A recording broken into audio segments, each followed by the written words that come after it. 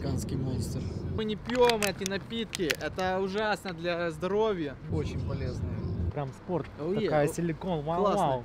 Барбершоп, там барбер, парикмахер. Только благодаря кепке я попал в... э, UFC ID попал в. UFC. Я, кстати, его видел. В натуре. Отвечаю, давно. Но видел.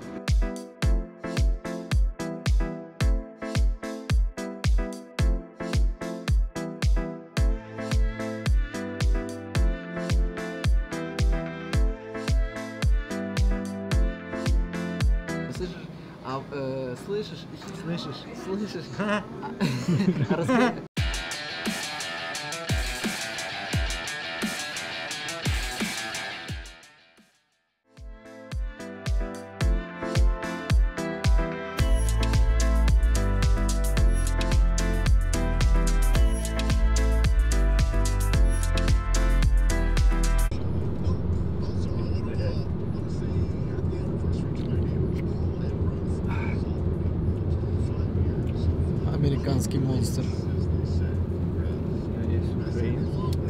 Это очень полезная вода с, с, э, соками и с витамином, да. Витамин у нас здесь содиум,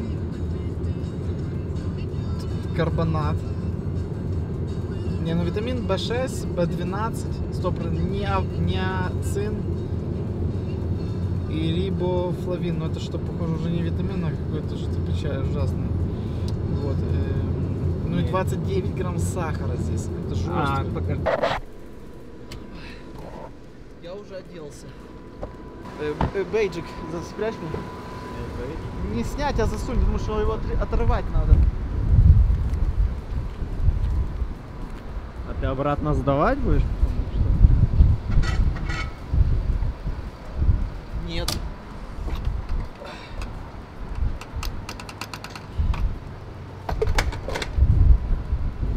Фу, ля, холодно. Ну, там сейчас за горой будет лучше. Там будет еще лучше. Там еще холоднее будет. Еще холоднее, наверное. Короче, ребят, э, едем в Калифорнию солнечную из, из солнечного Лас-Вегаса. Очень-очень, короче, холодно. Остановились заправиться. Я вот одел кофту даже быстренько. Е- еду в этих краях без GPS уже на Весте. 9 градусов. Ого. 9 градусов, да, а ночью будет 6. Это довольно-таки свежо. Так в горах снег.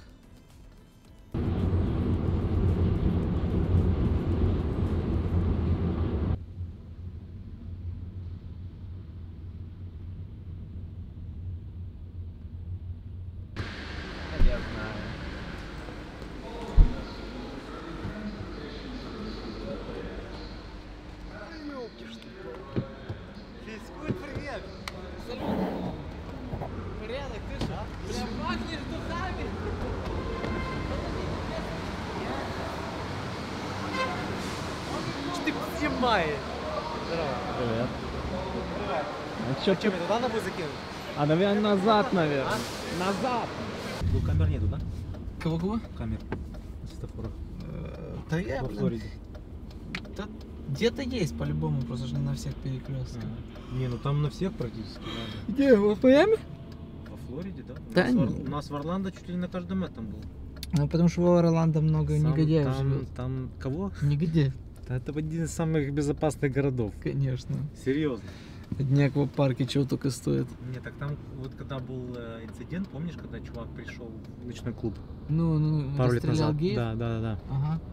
У нас мы сами как бы наши эти все, мы же Дисней работали, и ребята такие типа забили тревогу. Каждый может войти в театр, никто никого не проверяет. Ну да. Мало ли что-то может произойти. Ну, вообще, Они- да, такой, знаешь... Так люди они говорили, что в Диснее, в парках очень много, ну типа не, не, в- не в форме ходят, Ага, под ага. прикрытием, Штатно, типа, что ты можешь даже не, не знать об этом. Ну, правильно, это так и надо. Поэтому, ну да, довольно-таки безопасно. Да туристов куча. Перейти в тяжи и проиграть первый бой, ты понимаешь, вся его репутация сразу же. Ну, и заработки, ну все сразу же на ноль сходит. Поясов нету, это опять надо возвращаться, опять за- их проводить бои и выигрывать. А прикиньте, ты еще проиграть. Все, вообще может быть вся карьера поломана. А травма какая травма? Он через пару дней уже видео, стоит, там в машине едет, танцует. Какая у тебя травма? Чего травма у тебя? Руки? Э, обычно там что-то показывают. Он снял видео, одел, знаешь, эту Корсет. Да, типа вот рука у него висит. а- То есть, а, если висит уже рука в корсете, травма серьезная. И четыре, па- пару дней ты едешь в машине вот так вот двумя руками танцуешь, какая это может быть травма? Ну хотя бы уже, ну, come on, бля. Как-то серьезнее отнесись, покажи людям. У него люди спрашивают, что там, чувак, что там за... Расскажи, что ничего нету. Вот, тишина. Ну, знаешь, действительно, расскажи как-то больше фанатам, что покажи там люди какие-то там, чуть ли не доказательства некоторые, прям больничные какие-то снимки показывали, еще что-то, потому что э, поверить на слово сейчас, ну, мало кто в это верит. Трав- А в UFC посмотри, сейчас каждый второй там травмируется перед боем. Классно, да? Да, вообще легенький. Мне классно. нравится подошва такая, прям спорт. Oh, yeah. такая силикон, вау, классно. вау. Э, Шиги- Монстр. Это реклама? Это на правах рекламы или нет? Дуже да. Не-не, мы показываем, что мы не пьем эти напитки. Это ужасно для здоровья. Не, Главное алкоголь не пить. В Больших В количеств. больших количествах, а так чуть-чуть можно. Готовят, короче, в таких как бы тарелочках. Bows. А Типа это, печеная картопля? Нет? е- не, а есть типа они делают. э, Надо, было как- дверь, надо двери было открыта синхронно, и Игорь такой, ой, давай. Он так зашел. Такая тема. Э, Очень любят употреблять американские слова. Тут, например, барбершоп, там, барбер, парикмахер, знаешь, а мне это прям вообще... я Так не- подожди, так а ты скажи слово парикмахерская, блядь, еще правильно. Парикмахер. Да нормальное слово, классное слово.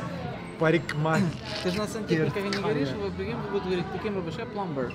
Я эм, Жек, Жековский пламбер. Смотри, что, мы, что я Давай. заказываю.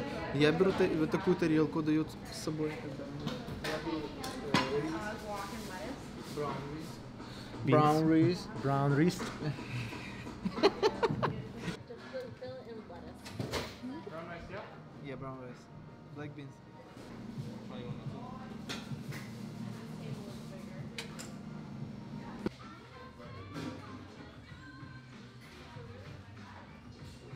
Слышишь? Слышишь? Слышишь? Мы встретили нашего старого друга Андрея. Андрей, я сейчас ну, не буду, вот расскажи просто. Андрей в прошлом э, очень-очень крутой э, акробат. Я... А? А, ну, Ну, в прошлом он Да. акробат, как бы, значит, Ну, ну, да. Расскажи просто вкратце о каких-то своих вот э, заслугах. Э, Ну, сколько я больше 10 лет, наверное, отдал акробатике, спортивной акробатике. Город Винница, спорткомплекс «Авангард». Всем привет. Работал в четверке мужской, Каким? э, первым средним. Первым средним, если, ну, если считать. Первый сверху? Первый снизу? Нет, второй снизу. Вот, нижний был, Ага, все. я запутался. Первый средний, то есть есть два человека Два. средних. два средних. Да. Первый Да. средний, второй средний. Да. С ребятами, в принципе, в спорте достигли высших результатов, заслуженные мастера спорта, после чего э, поступило от цирка Дюсселей предложение, не хотели бы вы развиваться, работать в этом же направлении. Это в каком возрасте? Мне было 22, по-моему. Это ты 23. университет уже закончил. Да, и как раз у меня был... Я закончил университет, да, торгово-экономический. Вот, и мы еще съездили на Андрей, Европу. Андрей у нас в институте висел на, на доске почета. А Серьезно? изначально фотографировал Игорь Маховик на, на эти же фотографии. Серьезно, да? Ну, где у на физвоспитании, где кафедра это, у Все, я понял, да. там была фотка, где Игорь... Какая студия это была? Рядом с Лимоном. Fine Photo Во, Fine. во, Да, да, видишь, да. как все это за- за- Завязано. Да. Кумовство. да Так где еще- Ваня кролик? Я, кстати, увидел, В натуре. отвечаю, давно, но видел. Ты можешь обратиться к Ване, если он нас слышит. Ваня, если ты нас слышишь, Подпишись. Ваня Кролик, ну, подпишись. Выйди на связь. Мы, Белоусов, мы, да. мы за тобой соскучали уже, на самом деле. И даже пытались узнать, где ты, но ты где-то бесследно пропал вообще. Так что, Ва- Ванек где-то, если будешь нас слышать, выйди на связь, ищу тебя. Программа «Жди, жди меня». Ну да, Андрюх, У вас, походу, новый проект будет. уже да, ищу тебя, когда мы найдем Ваню, хоть кого-то найдем. Найди Ваню просто. А люди на цирк-селе проходят подготовку, да, в Бердичеве, в Украине. На самом деле мы были э, третьим проектом от цирка, где большие как бы групповые номера. Их э, сначала был, по-моему, Z, потом шел Ова, полет, и потом э, вот были мы. Что ты сейчас вообще слышишь по поводу э, акробатики в Украине? Потому Я, что если честно, был- в, э, в прошлое время, я точно уверен, это была одна из самых сильных школ в мире вообще, в Я принципе. так понимаю, когда мы заканчивали, э, даже мы, когда уже заканчивали, уже немножко... В общем, сейчас какая была ситуация? Они хотели, всегда были э, страны с сильной, сильной школой акробатики, Россия, Украина, когда уехали некоторые тренера из России, из Украины, Англия, Америка, они начали подтягиваться, выравниваться в уровне приблизительно благодаря нашим хорошим специалистам. После этого все равно некоторые были разные э, съезды федерации, эти все комитеты, они пытались выровнять всех практически участников, неважно откуда ты, с Пуэрто-Рико, не знаю, с Зимбабве, не знаю, отовсюду. Они пытались уравнять всех под одну, под одну, скажем, планку, чтобы приблизительно была одинаковая конкуренция. Чтобы упростить немножко уровень, чтобы не делать супер сложные трюки, но чтобы все были практически в разных условиях, в одинаковых условиях. А зачем это делать? Ну, потому что многие всегда ты приезжаешь на соревнования и все время в призах одни и те же Одни самые. те же самые люди. И люди ездят, и они просто как Не бы интерес- есть, конечно, уникальные составы, хорошие э, спортсмены, но они как бы все равно тяжело это все было. И вот когда мы заканчивали, было уже как-то немножко все сложность, сложность трюков намного они начали это все делать, аргументируя то, что это небезопасно. Что это Серьезно, сложно, да? что это сложно, что некоторые трюки исполнять нельзя. А, то есть прям э, запрещали, да, какие-то да, выполнять да, элементы, да? да. Ничего себе. Ребята начали делать четверное сальто, что было по своей сути сложным трюком. Они сказали нет убрать, потому что это сложно, это может быть критическим. И это убирались. То есть люди хотели стремиться к тому, чтобы Развивали. развиваться, а им сказали нет, вот правила, все, нет, вот так. После чего я приехал, последний раз я был вот в год назад, зимой приехал э, в Винницу и по стечению обстоятельств попал на чемпионат Украины, отбор на, не помню, или чемпионат Европы, или чемпионат мира в Бельгии. Я приехал, смотрю, и как бы ребята говорят, вот смотри, наши лучшие ребята работают, вот как бы чистенько. Я говорю, да, молодцы, как бы для юношей нормально. Ну, Говорят, это Это взрослые. взрослые. И как бы я не ожидал этого, знаешь, и просто понимаю, что уровень довольно-таки Упал. пошел Ну, как по факту, как Да. бы, очень много акробатов идет в цирк. в последнее время, да. Да, расскажи, э, э, насколько вот э, ты попал туда, да, и спустя вот сейчас уже вот время, вот ты понимаешь, что ты себе представлял иначе в этой всей индустрии. Когда мы только вот поехали, у нас первый контракт был, в любом случае ты, у тебя не с чем сравнить. Ну да. У тебя все, все классно, гостиницы, номера, э, ты приезжаешь каждый раз, у тебя, в тот момент мы работали в, у нас был тур арена, мы переезжали каждую неделю, каждые две недели. Это, может, это где вы проходили? Первый тур был? Начинали мы два с половиной года, это была Северная Америка. Канада и Америка. Мгм. штаты. Вот, и когда ты переезжаешь, в принципе, у тебя такой рок-н-ролл стайл образ жизни, ты переезжаешь, ты даже толком не распаковываешь свои чемоданы. Но ты работаешь в кайф каждый, каждый день, каждое шоу, у тебя новые зрители, ты, ты свои эмоции даешь, питаешься чужими. Да, Очень классно. Короче, кайф был. Да, да. После чего мы начали, мы поехали в Европу. Начинает губа раскатываться. Нет, я бы не сказал. Или у них, или они начинают закатывать губу. Да, это был Вот тот так вот, да? момент, да? как раз кризис коснулся всех. И э, в цирке, я не помню точно какой это был год, где-то 12 13 где-то, может, может 14 когда кризис коснулся всех и когда сокращения в цирке тоже произошли.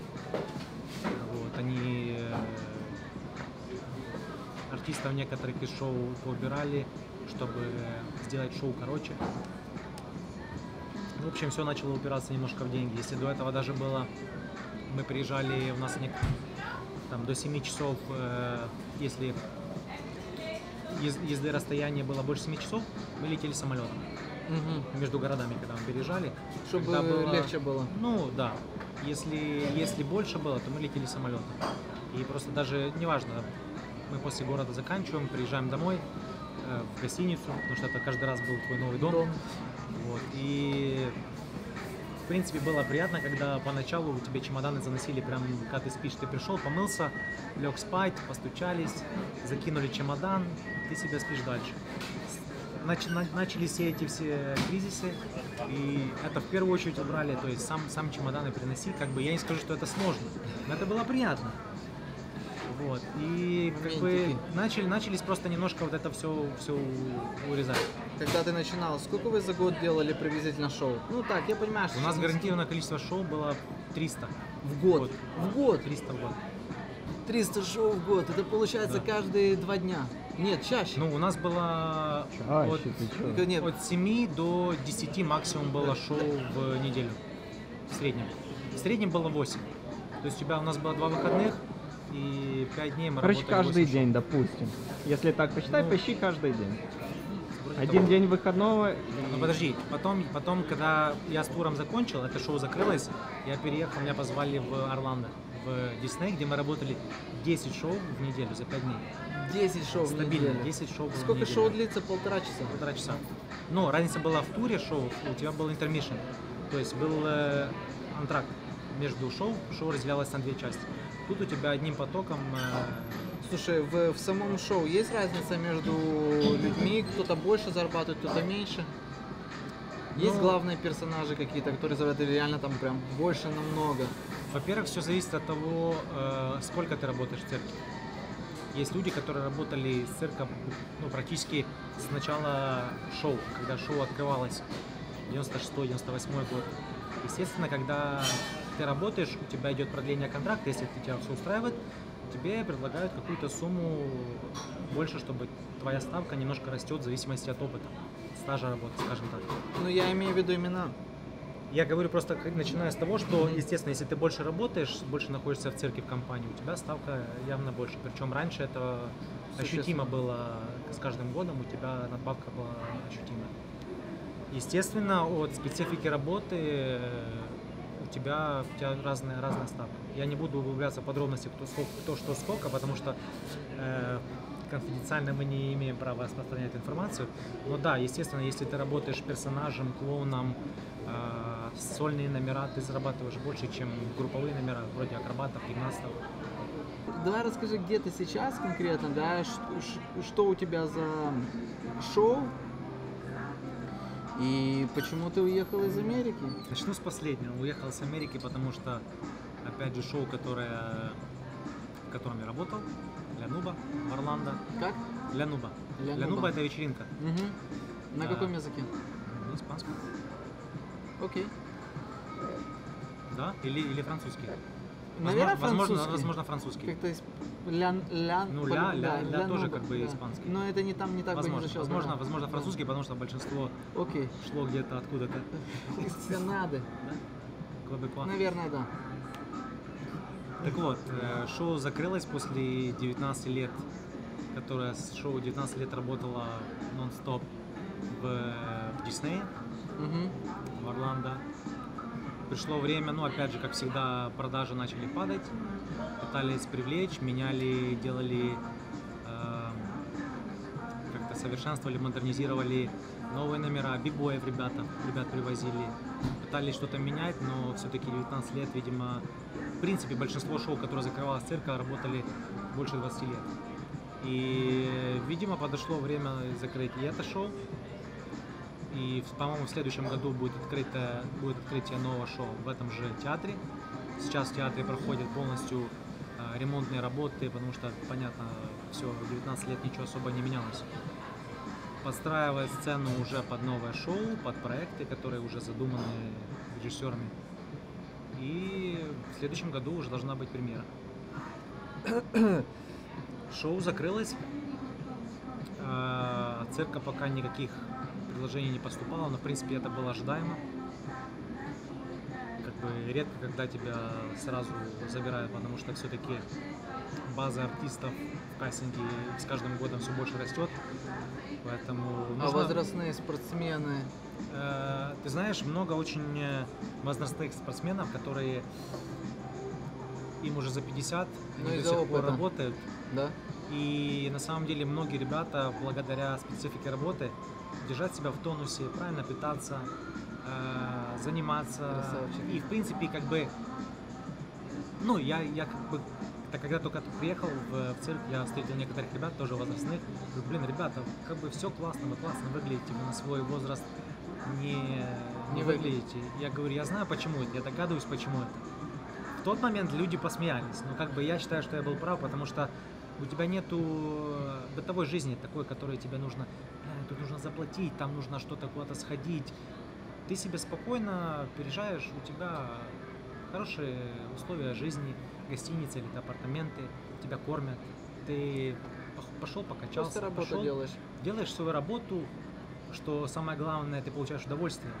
Когда ты сидишь, слава богу, у меня не было опыта работы какой-то в офисе, где ты сидишь, и ты просто тебе нужно там идти отчеты. Я просто помню по, по университету, точно так же тебе нужно курсовые, дипломные, что-то тебе нужно крутиться, у тебя начинает голова работать, ну и в принципе это стресс, поэтому, который И тебя закипает.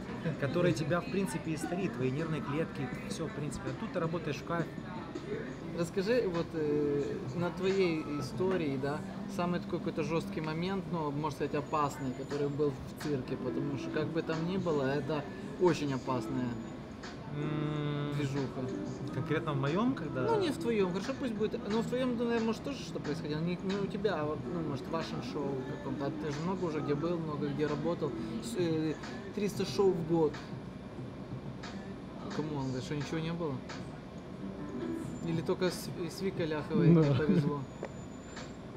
Не, были, были, были, была ситуация, по-моему...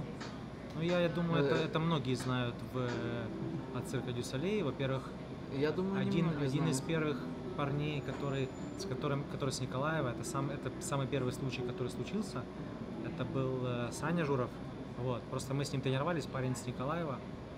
Вот. И он э, в один момент, мы даже не знали, он уехал на формейшн в Монреаль. Они на тот момент тренировали русские качели встречные. Мгм. Вот. И вот он там э, он погиб там. Он Как-то качеля догнала, я не знаю подробностей. Он в качеле в каче шел. Ну, я, И, это короче, почему? качели Потому что как бы это может быть э, технический момент цирка или Не, я так понимаю, это Или его, его ошибка. его ошибка. а вот по- цирк вот знаешь, на самом деле сложно что-то доказать, потому что артистам никогда не говорят, какие были случаи. Я знаю, был случай в... Но это все равно умалчивается. Вот ты говоришь, многие Это знают. умалчивается. Я- вот лично я не слышал про конкретно про цирк, да, какие-то трагедии. Вообще не слышал. Почему они это скрывают? Причем Потому был- что а, а шоу, где люди должны получать самом ну, деле удовольствие, кайф, да, нельзя говорить что-то плохое, да. Несколько было случаев. э, Один знаю точно в Вегасе был в шоу Там что с девчонка, не знаю, на, на, на тросе, не знаю, трос оборвался или что. Э, Не знаю, ли это была ошибка техническая, или это чья-то другая ошибка была. Но я знаю, что всегда, когда что-то происходит, вызывает полицию, вызывает, не знаю, федералов и идет разбирательство. То есть это, это не то, что эта компания пытается прикрыть себя. Это, то есть нанимают, приезжают эксперты, которые, если, если это э, ошибка компании, это будет сказано, что это так. Из задрыпанных залов, в которых, блядь, сам себе все покупаешь и пытаешься выбиться как-то в люди. В, в таких залах Я вырастают согласен, чемпионы. я согласен. То есть, получается, надо такие условия создавать. Ну, я думаю, некоторые, некоторые виды спорта нужно где-то как-то улучшать условия, чтобы, чтобы была какая-то, возможно, дополнительная мотивация, чтобы всегда стремиться не, не в призах быть, а быть на голову выше соперника. Как бы это же после, после спорта есть жизнь, в, не скажу во всех видах спорта, но есть жизнь дальше, где ты можешь просто себе хорошим бэкграундом делать хорошую, хорошую базу для каких-то дальнейших начинаний вне спорта. Поэтому Да, бы тебя это дополнительно мотивирует, когда ты реально из грязи в князи, но, но не у всех это получается. Из 10 человек там, блин, ну, один, Не, сейчас просто, выходит. просто как бы при тех же условиях просто уже те же дети не идут в залы. Во-первых, сейчас меняется, насколько я знаю, многие дети берут э, воспитание из Америки, из Европы, скажем, западную какую-то методику, где они могут э, спорить с тренерами. И тренер не имеет права как-то унизить, А дать раньше? под жопе, где раньше, блядь, за трещина тебе летела, ты еще на землю не, не приземлился, а тебя уже наверх закидывали. Ну, бля, ну это делали характер. Я, я согласен, возможно, это не совсем э, рациональные какие-то методы были, но, блядь, ну без этого Но рабочие, но пряника. рабочие, да? Да, потом подойдет, а сейчас даже, как бы я считаю, что было бы правильно говорить, окей, если вы ра- разговариваете с родителями, если ты хочешь, чтобы твой, твой э, ребенок выполнил какие-то нормальные, достиг, достиг выс- высоких результатов, будет группа для людей, которые заинтересованы развиваться как спортсмены, и группа здоровья, которые ходят, чтобы на них не кричали, ничего нет. Ну, это мое мнение что все-таки где-то нужно, я не скажу дать за трещину или где-то физической Это- силу это- применить, это но новые где-то методики воспитания, которые утверждают, что нельзя ни в коем случае применять силу, э, грубость и унижение. Но в спорте, возможно, действительно это где-то не совсем нужно под- работает. подтолкнуть. Я не скажу, где нужно силу применить, но где ты, казалось бы, ты уже сдаешься, у тебя нету сил, и дополнительная Для нагрузка, этого где тренера тебя... не нужен, да, грубо говоря, да? да. Андрюх, короче, бомба. Ребята, это- Занимайтесь, Занимайтесь акробатикой. акробатикой, да, это крутой спортом. спорт. Занимайтесь спортом, но акробатика это круто. На самом деле, если у вас будет база акробатики, и вы потом решите дальше куда-то идти, это очень сильная база. Там развивается все. Ну, просто сумасшедший спорт на самом деле. У нас плакат был, в, не знаю, возможно, еще есть в зале, от э, космонавта Волков, который говорил, типа, что нужно делать, с чего нужно начинать, если вы хотите быть каким-то космонавтом или, в принципе, потому что он, по-моему, у него какая-то была акробатическая гимнастическая база. И его, типа, фраза, что я бы советовал начинать с акробатики, развивающей силу, силу, ловкость и смелость. Так что вот так вот, ребят. С нами был э, Андрей Литвак, заслуженный мастер спорта. И на самом деле он скромничает, но многое сделал для спорта в Украине, для акробатики в частности. А сейчас э, продолжает эту работу свою. Но уже не акробат, уже артист. Уже не акробат, уже как артист-шоумен. И шоумен. Да, и я не знаю, честно, э, я в какой-то мере ему завидую. Вот, я в когда-то занимался акробатикой, вот мы в ходе разговора, я говорю, почему я бросил акробатику, как так случилось. Ну, есть определенные обстоятельства, почему я ее бросил. Вот, и финансовые в том числе. Вот, а Андрей пошел дальше и сейчас как бы катается по миру и выступает. И сегодня Ты мы в красав- Лос-Анджелесе. Ты красавчик. И сегодня мы в Лос-Анджелесе Да. так между делом Казалось бы, встретились. э, земляки с одного города, и вот трое из нас в одно время так сошли, э, так звезды, наверное, совпали. да. Звезды. Мы завтра пойдем на пляж. Мы с тобой договорились. Купаться? Сальто делать. А, кстати, ну на пляже вообще нормально. Вообще без проблем. Меня подстрахуешь, я выход сделаю там. Покажем. Все, короче. Выключай, Грен, балайку.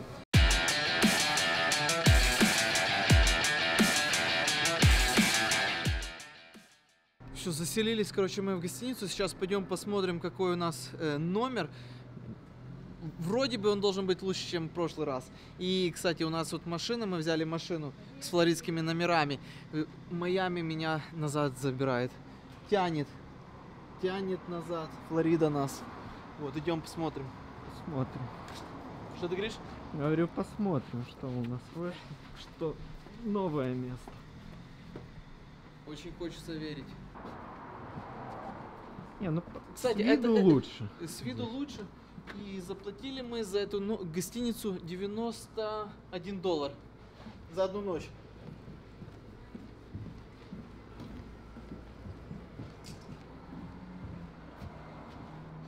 Ту-ду-ду-ду. Ну, а, апартаменты. Не, ну это вообще не сравнить. С тем.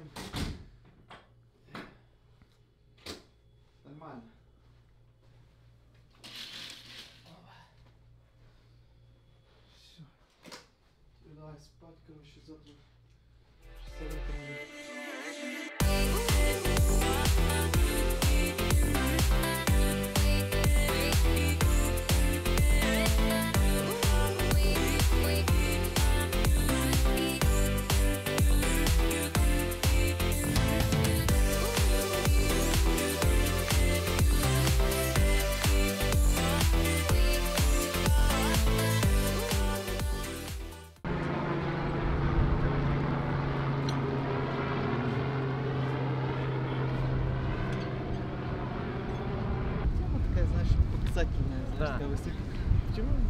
ну, где-то же можно в другом месте это делать. да. Даже вот этим вот, вот, вот столбиком. да. Где-то можно в другом месте. А я думаю, что люди себя, может, тут где-то им легче себя мотивацию найти, потому что они приходят, они смоют, они типа, знаешь, им приятно, может. Ну что, возможно, это подъем, под- мотивация. под- подъем, с- выход делаем на две э, и, и, и потом прыжок, сальто, э, фля, грандат и... Не-не-не, сальто, да. Фляг не. В смысле? Я фляг не втышу. Я на кисете, блядь, уже больно прыгать. Серьезно. То есть вот так, блядь, Сальтишка лучше. стрёмненько, да, вот так вот. Жалковато, да? Ну, да. Запись идет. Мы, э, ребят, Санта-Моники, э, заставили Андрея сегодня это прийти с нами. Костю Э. Андрей проведет сейчас мне тренировку. Я шучу. Ну, мы по- по- просто тут на снарядах побалуемся. Да. Может быть, сделаем сальто, если получится. Я тоже.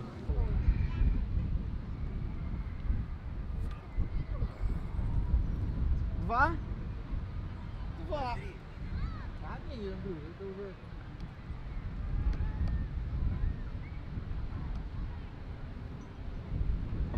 Старость не радость. Слово. По малолетке делал 30 раз на турнике. Че, по малолетке По- челлендж по- тоже проходил. По малолетке.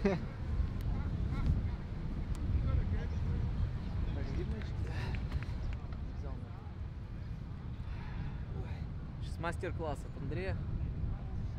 На самом деле пробовал подтягиваться минуту или две минуты, я не помню точно, на наверх, спокойненько. Да, да. Вверх и минуту вниз? На самом деле хорошее упражнение. Очень.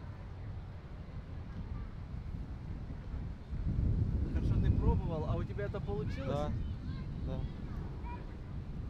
Ровно. Давай. Выход. э, ко- ко- команда из Украины приходит к снарядам. Синхронное подтягивание. Выход на две, да? Да. К прыжку. К исполнению приступить. Прыгаем. И. Есть, вниз спускайся. А еще раз. А ты что? Есть.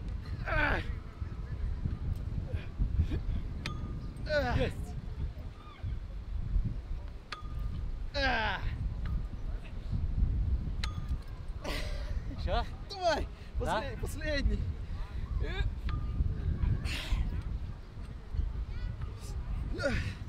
Сделай. Закончили. Выступили. Ой, да, старость не радость. Что? Снизу? Не, ну, вот так, знаешь, снизу, ну это совсем уже.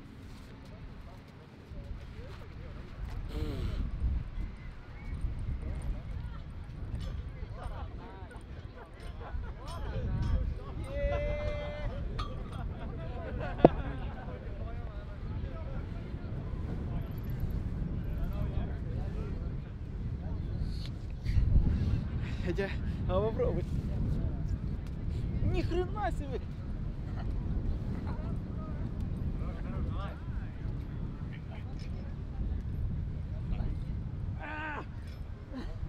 Не, Жесткий канат.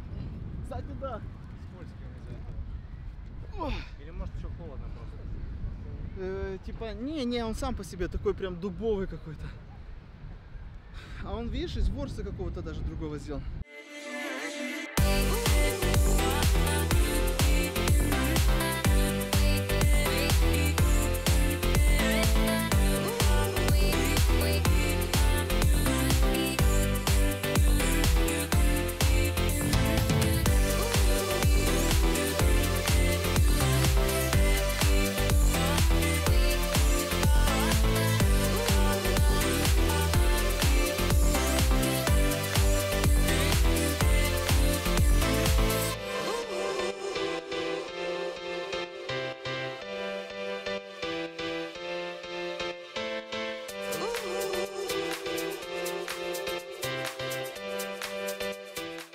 Отдышаться? Да, отдышался. Я только что пытался сделать сальто, которое, Причем не- пытался? Ты сделал? которое я не делал очень-очень много лет. Вот. Э, Что делал неправильно? Э, Ну, распуск. Фаза, Раскры- фаза распуска. А как открывался? Открытие. У тебя руки, у тебя это твой, твой рычаг, это твой стоп-кран. Если ты их выбрасываешь вперед, у тебя остан- остановка полностью, и ты можешь прийти просто... Верховную Раду неправильно распустил. Да, распустил. Правильно же распустил, но не... Ничего, я теперь, знаешь, это... Ты э, сломал мой такой барьер этот опять. Страх. Страх. Да, Да, да. я не то, что прям барьер страх, я просто еще раз попробовал сделать. Андрей мне помог, подстраховал меня. Вот. Надо просто э, продолжать пробовать делать.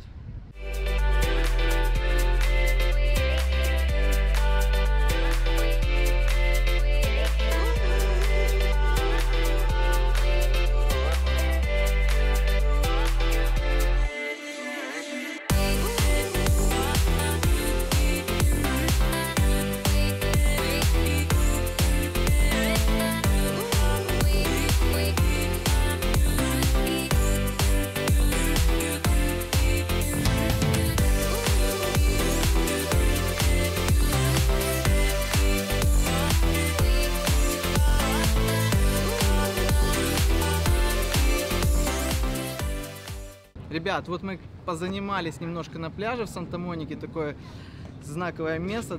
Очень много здесь э, знаменитых людей тренируется каждый день. Вот, блин. Давай начнем сначала. Давай. Э, ребят, э, вот мы позанимались на пляже в Санта-Монике. Muscle Это, ну, Muscle Beach, на самом деле Muscle Beach немножко дальше, вот. И Андрей сегодня помог мне, э, опять же, сделать сальто. э, Преодолеть небольшие страхи. преодолеть страхи, да. Спасибо тебе, кстати, Андрюх, большое. Вот, и было бы прикольно через какое-то время я попробую еще поделать и сделать самостоятельно уже. Вот, Андрей сегодня улетает в Дубай, у него там шоу, вот, а мы остаемся в ЛА. Андрюх, э, пару слов э, ребятам или там девочкам, пацанам, которые занимаются акробатикой, какие-то вот, знаешь, уже э, такой ты прошел опыт, знаешь, от, э, можно сказать, акробатики и дальше, то есть по- в основном все акробаты идут как бы, ну не в основном, много, идут в цирк, можно сказать, в шоу выступают и да. так далее. Свои пару слов рекомендаций, советов каких-то дружеских и так далее. Ну, всем ребятам, которые смотрят этот канал, занимайтесь спортом, держите себя в форме. Э, Физические нагрузки в меру это, это полезно, это здоровый образ жизни, и вы сохраните свою молодость и будете выглядеть как мы на 19,5. Да, Андрею, кстати, 19,5 лет, он вообще не постарел. Борода, это он специально запустил. Это нарощено. Нарощено. Андрюк, Да. Спасибо тебе огромное. Это наша винницкая братва. Ребят, оставайтесь на канале, подписывайтесь и пишите свои умные и неумные комментарии. Нам это приятно. Вот. Ставьте лайки, дизлайки, вот, колокольчики. До скорых встреч.